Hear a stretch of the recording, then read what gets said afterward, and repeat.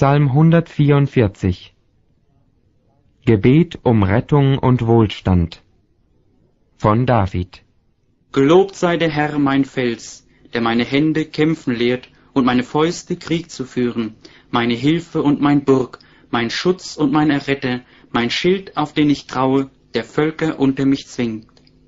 Herr, was ist der Mensch, dass du dich seiner annimmst, und des Menschen Kind, dass du ihn so beachtest? Ist doch der Mensch gleich wie nichts, seine Zeit fährt dahin wie ein Schatten. Herr, neige deinen Himmel und fahre herab, rühre die Berge an, dass sie rauchen, sende Blitze und streue sie aus, schick deine Pfeile und jage sie dahin, streck aus deine Hand von der Höhe.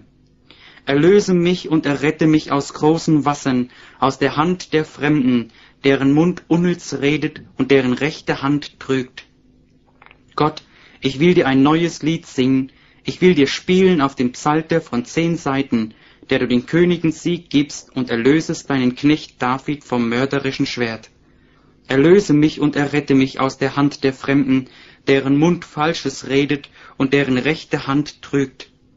Unsere Söhne seien wie Pflanzen, die aufschießen in ihre Jugendkraft, unsere Töchter wie Säulen, geschnitzt für Paläste, unsere Kammern gefüllt, dass sie Vorrat geben, einen nach dem andern, unsere Schafe, dass sie Tausende werfen und Zehntausende auf unseren Triften, unsere Rinde, dass sie tragen ohne Schaden und Verlust, und kein Klagegeschrei sei auf unseren Gassen. Wohl dem Volk, dem es so ergeht, wohl dem Volk, dessen Gott der Herr ist,